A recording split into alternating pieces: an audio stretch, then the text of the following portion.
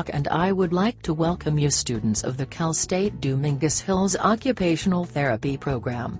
And as representatives of the American Occupational Therapy Association, I welcome you to our nation's capital. Hello, I am Barack Obama, your commander-in-chief. Hello, my name is Linda. Hi, my name is Sharon.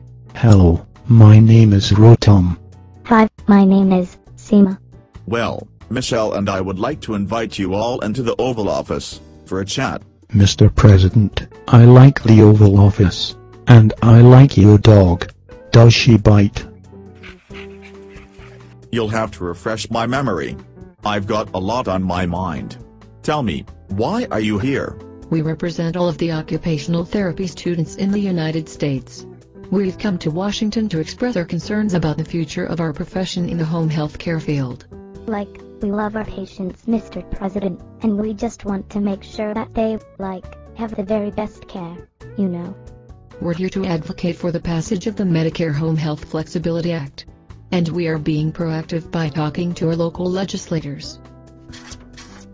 Michelle, do you have any foggy idea what they are talking about? Huh? This newly proposed legislation would make occupational therapy an initiating service for Medicare home health services when on the doctor's order. This will allow, like you know, um, home health agencies to more efficiently use their occupational therapists to, like, meet patient needs. We would be able to do the initial home health care assessments that will help our Medicare patients get better sooner. Well, that sounds good to me. You and I may be needing it someday. when the bill crosses your desk, sign it, my love. Okay, Boopsie, I will. Excuse me, President Obama, but since we are here, can we have some money? Sure, oh, Tom. How much do you want? $100,000.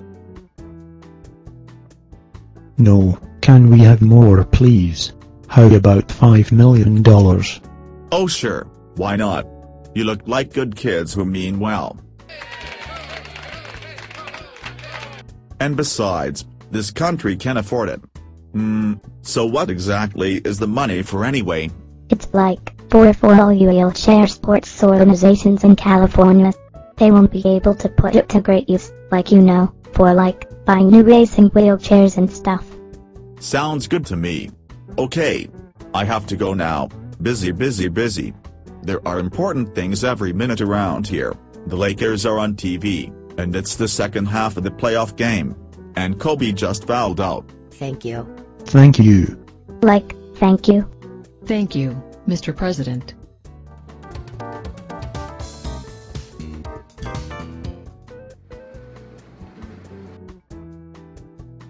This is your captain speaking. We will be landing at LAX International Airport approximately 10 minutes.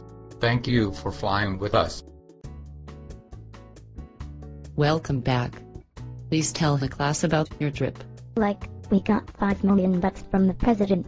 Oh, $5 million? How did you do that? We didn't need to do much, Marilyn. It was easy. We just smiled and sat politely and told the president and first lady that we had come to Washington, D.C. So we can help disabled people lead better lives. Then Rotom asked the Obamas for $5 million. It's for Jeff, and others like him who have suffered spinal cord injuries. They can buy new sports equipment, they can enter wheelchair competitions across the United States. They will be able to make new friends, which will be amazing for their socialization skills. And also, because of our political advocacy, the Medicare Act looks like it will now pass. Now, that sounds fantastic. Excellent job. All four of you get an A+. plus.